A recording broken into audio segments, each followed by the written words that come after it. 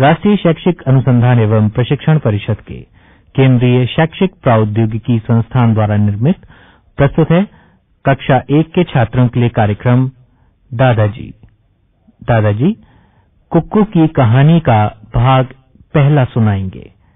आलेख अशोक गुप्ता का है और इसे प्रस्तुत कर रहे हैं अजीत गुप्ता।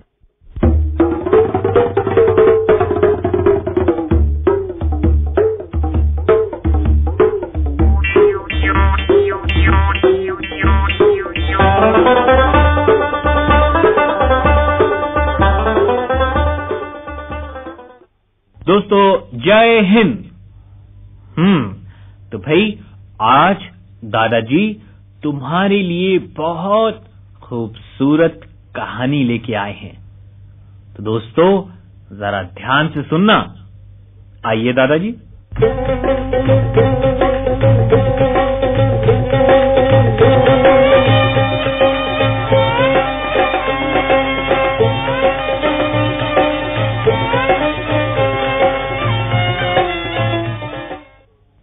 कुकड़ों को भाई कुकड़ों को कुकड़ों को भाई कुकड़ों को कुकड़ों को कुकड़ों को।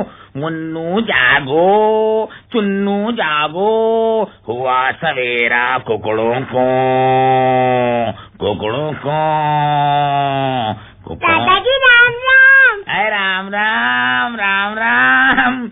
अब बच्चों राम राम। क्यों भाई? सब बच्चे जाग रहे हैं या नहीं? प्यारे नन्हे मुन्ने बच्चों, तुम्हें मालूम है कि मैंने बहुत से पक्षी पाल रखे हैं।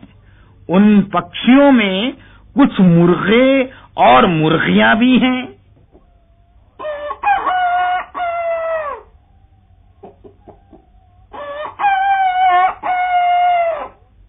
जानते हो बच्चों? आज सुबह चार बजे मेरे कमरे की खिड़की पर एक मुर्गा आ गया और बोला, दादाजी, आप रोज बच्चों को कहानी सुनाते हैं। आज मैं आपको कहानी सुनाऊँगा। प्यारे नन्हे मुन्ने बच्चों, मेरे मुर्गे ने कहानी यूँ सुनाई।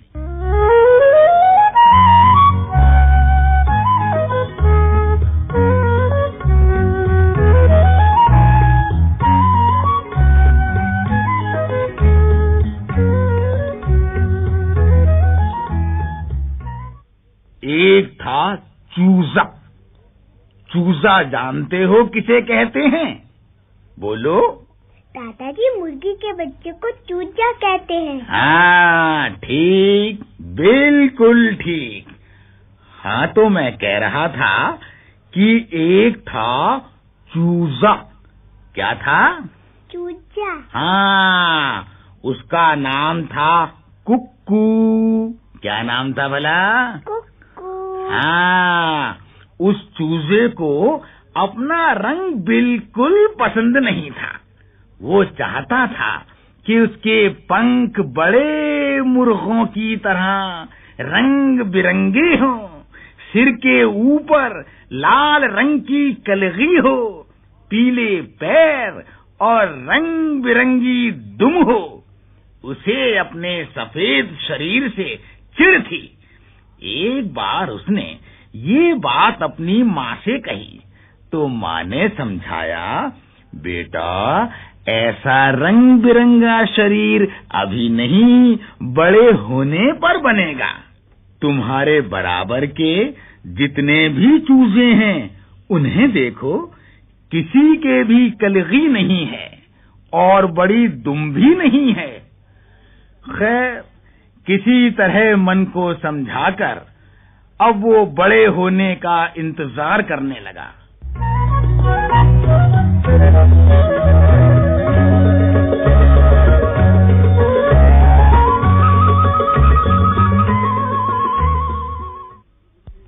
लेकिन बच्चों उसे दूसरे मुर्गों के सिर पर उठी लाल कलगी से बहुत चिढ़ होती थी। वो चाहता था कि जब तक उसके सिर पर लाल कलगी ना हो तब तक दूसरे किसी भी मुर्गे के सिर पर लाल कलगी ना हो। दादाजी कलगी क्या होती है? मेरे प्यारे प्यारे अच्छे बच्चों मुर्गे के सिर के ऊपर जो लाल लाल दिखाई देता है उसे कलगी कहते हैं। क्या कहते हैं? कलगी। हाँ।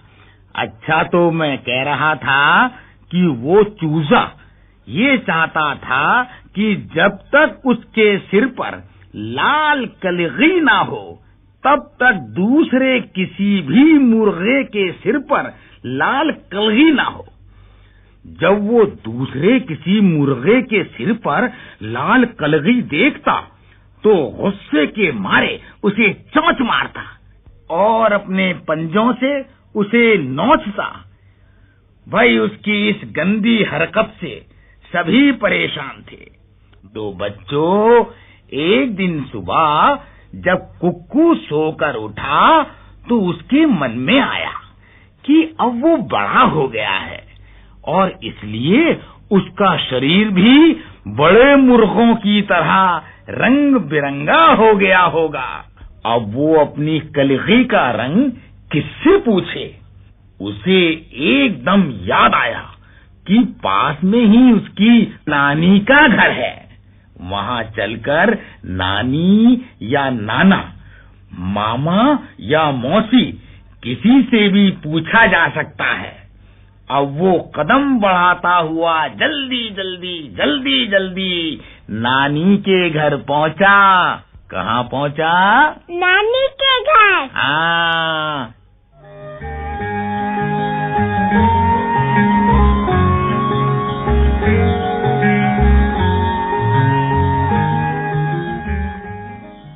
घर पहुँचने पर सबसे पहले उसे अपनी मौसी दिखाई दी।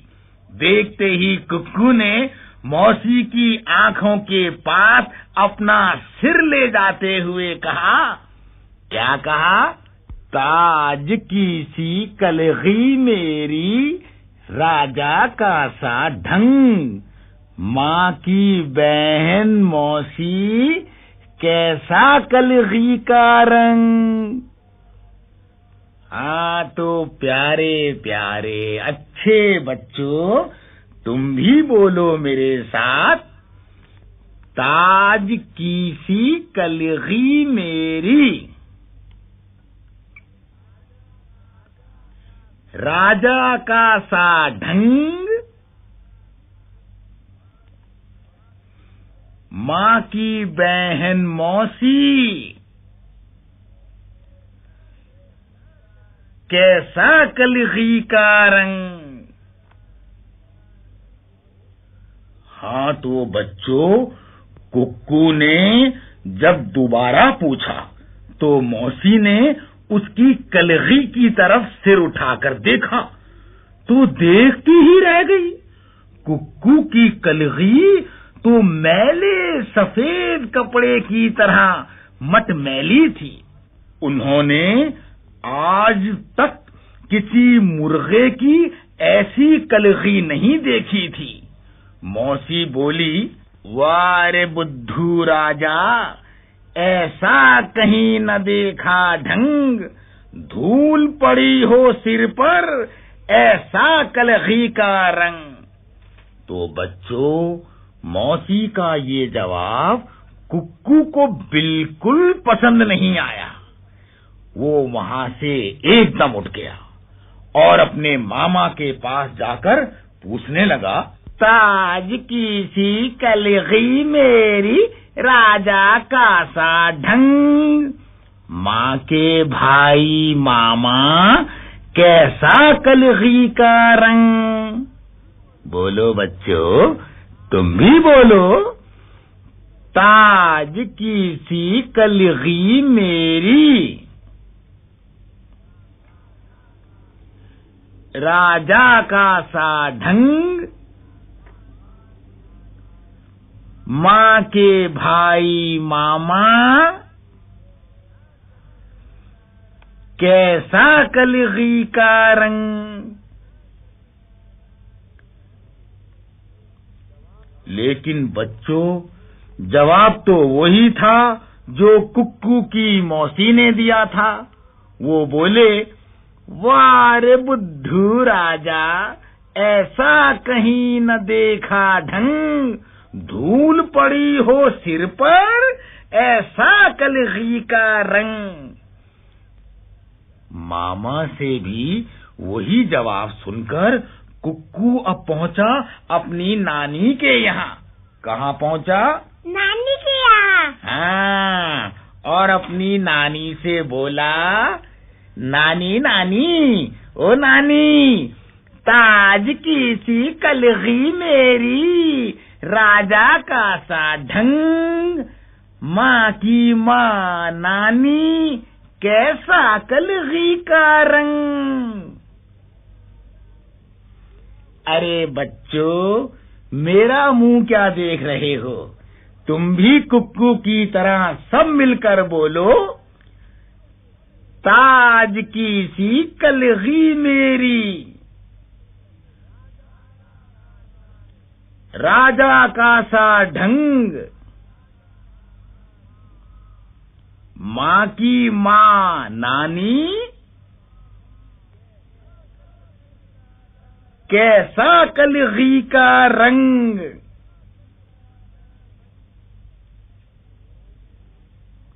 तो बच्चों नानी और नाना दोनों को ही कुक्कू की मटमैले रंग की कलगी और इतनी अकड़ देखकर हँसी आ गई। नानी ने हंसकर कहा वार बुद्धू राजा, ऐसा कहीं न देखा ढंग। धूल पड़ी हो सिर पर, ऐसा कलगी का रंग। तो बच्चों, नानी का जवाब सुनकर कुक्कू ने नाना की तरफ़ देखा और बोला, नाना जी, तुम बताओ। नाना बोले, अरे, मैं क्या बताऊँ? तुम खुद जाकर तालाब के पानी में अपनी कलगी का रंग खुद देख लो।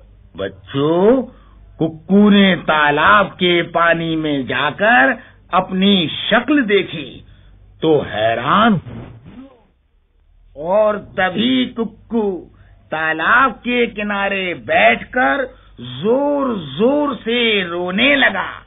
पूछो क्यों? क्यों? अरे तो इसमें पूछने की क्या बात है? आगे की कहानी मैं कल सुनाऊँगा। अच्छा बच्चों राम राम। राम राम दादाजी। राम राम।